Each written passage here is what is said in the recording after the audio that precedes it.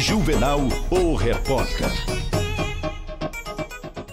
Uma guarnição do 11º Batalhão da Polícia Militar de Timon estava patrulhando a região do centro de Timon quando foi avisada que um assalto estava em andamento. Os policiais se deslocaram muito rápido. Chegando lá, encontraram os dois suspeitos. Aliás, já são, eh, já confessaram, não é, o crime. Eles assaltaram uma senhora.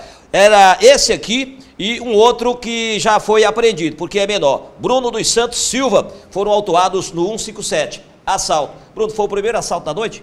Não tenho nada a declarar, não. Nada pra dizer, mano? Não, não. Olha pra mim. Ela fez meu dia de advogado mesmo. Nada Eu não estudei pra direito, não vou saber o resto da história. Tá bom, não tenho nada a falar, não. Tem nada a dizer? Tenho não, tenho Quem, não. quem foi que planejou o assalto? Mas ninguém planejou nada, não. Foi você ou foi o menor? Foi nada, não. E a arma? Tem nada a falar, não. Tinha arma, não. Tem não? Tem Só não. dá sugestão. Rapaz, levante a cabeça. Não, não tenho nada a falar, não. Você tem filho? Tenho. Quantos? Tenho dois. Dois. Aí, macho, dois comedorzinhos de rapadura. Aí a mãe pergunta, os bichinhos perguntam lá, mãe, cadê papai? Tá preso. Por quê? Por roubo. Coisa feia, macho.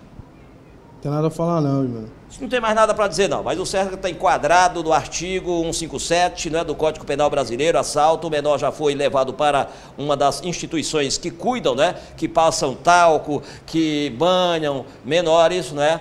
E aqui ele está já à disposição da Justiça do Estado do Maranhão, está preso na terceira delegacia. De lá, de onde foi preso no centro, foi levado para a central de flagrantes, autuado. E aqui deve descer quando surgir vaga, porque no presídio Jorge Vieira não está comportando, não está entrando mais nem mosquito da dengue. Super lotado. Então ele vai ficar aqui aguardando uma transferência para o presídio aqui da cidade.